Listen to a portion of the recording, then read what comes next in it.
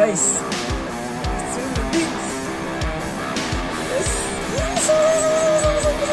It's really big, guys. It's a black GT. Ah.